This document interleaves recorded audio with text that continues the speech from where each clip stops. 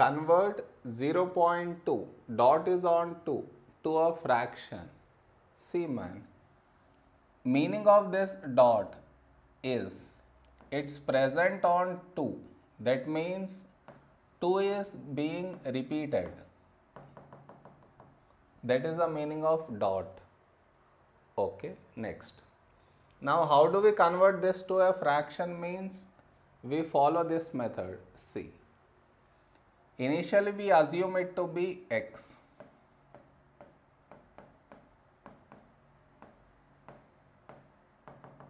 Okay now you should see how many numbers are being repeated.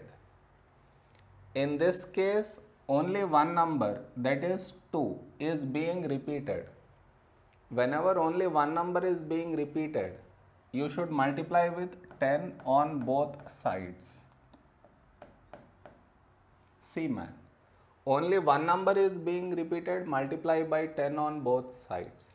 Had it been two numbers being repeated multiply by 100 had it been three numbers being repeated you should multiply by 1000 it is a rule. Okay next. X into 10 is 10x here when you are multiplying with 10 the decimal will move to the right so making it 2.222 so on. Now I write this below this.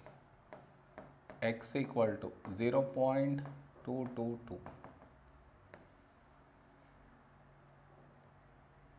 now subtract these two. Okay subtract these two.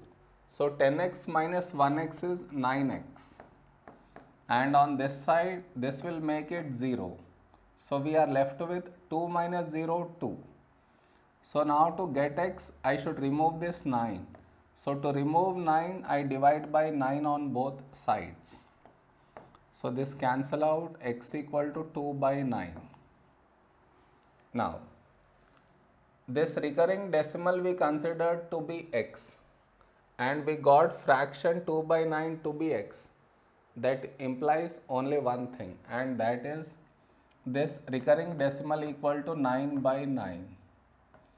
So, this is the fraction.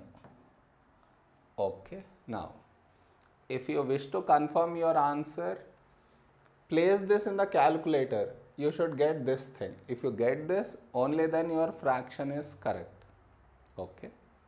So now this is how we convert recurring decimal into a fraction. Am I clear?